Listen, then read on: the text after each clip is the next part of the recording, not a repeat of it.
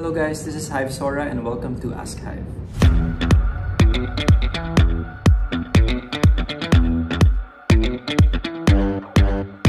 Ito, magandang tanong to. What's your leap of faith story? Ito, itong Hive. Kasi as some of my friends know, wala naman ako sa K-pop scene or P-pop scene before unlike the other members. Itong story na to, ang galing lang to sa kay Kali na in-invite niya ako. Sabi niya sa akin, pre, di ba kumakanta ka? And coach ko siya sa isang dance studio dito sa QC. Sabi ko sa kanya, oo, oh, kumakanta ako. Sabi niya, gusto mo i-pitch kita sa management, ganito, ganito. Nasa tayo Brent? Nasa, nasa SM North kami kasi may concert yung mga kids na tinuturuan namin. Yun, the rest is history. Yun ang aking leap of faith. Pet peeve. Pet peeve ko yung tinatapik ako sa likod. Tinatapik ako sa likod. I mean, tawagin mo na lang yung pangalan. Yun. Or pag nasasayang yung oras ko. Yan yung pet peeve ko. Nagluluto ka ba? Anong specialty ko? Um, nagluluto ako. Chicken karaage. Yun ang aking siguro pinaka nag-hit. Yan. Pero hindi ko pa naluluto for the boys. Kasi masyado magaling magluto. Jules, alam mo na Jules ah. Ulam natin bukas. Favorite comfort food ko is strawberry ice cream. Sarap. Okay. Mahilig ako sa strawberry na malamig. Yung mga strawberry na pastry, hindi gaano. Pero pag ice cream or dessert na may strawberry, ah, sarap. Adobong strawberry.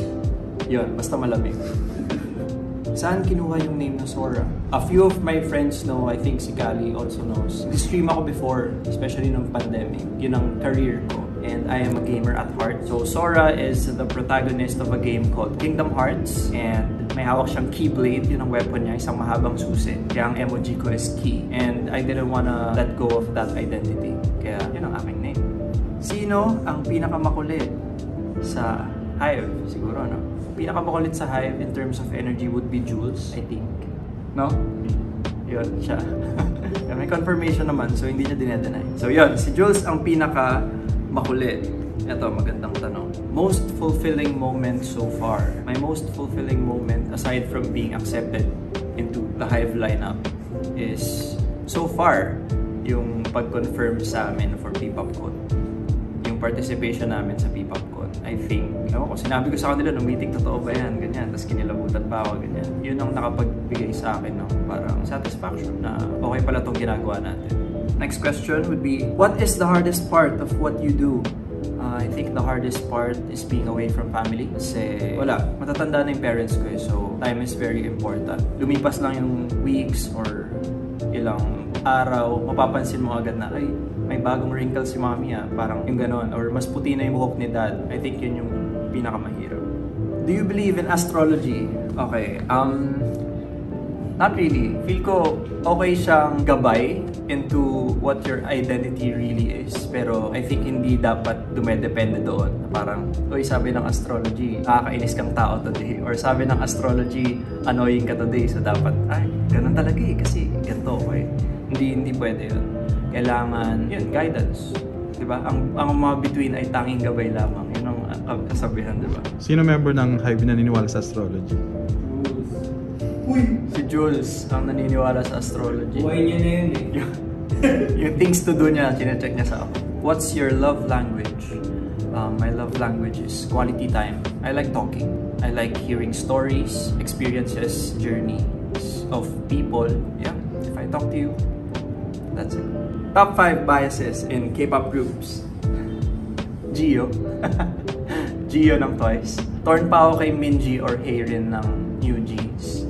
10 ng NCT kasi sinabi nila i-copy Junso ko daw si 10. Sino ba ba? Um, V of BTS. And one more. I think the last spot would go to Ryujin. Ryujin. Yeah, sa kanya ang last spot. My go-to music.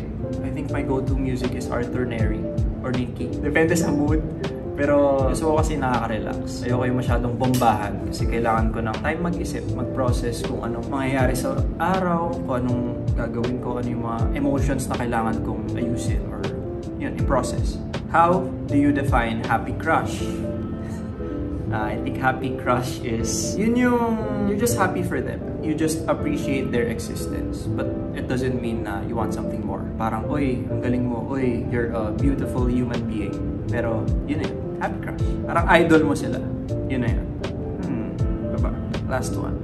Are you a pessimist or an optimist? Uh, I think I'm neither. I'm a realist kasi I take things for what they are. Di ako masyadong nag-iisip na, ah, nangyayari to kasi ganyan, blah, blah, blah. Or like, magiging okay ang lahat. Parang hindi ako masyadong naglilin doon. Mas nagpo-focus ako sa ano ba yung solusyon para maayos ko kung ano man yung dapat ayusin. Yan. And that is it. Thank you for joining us dito sa ating Ask Hive vlog. I am Hive Sora and please stream Alaw Kulay.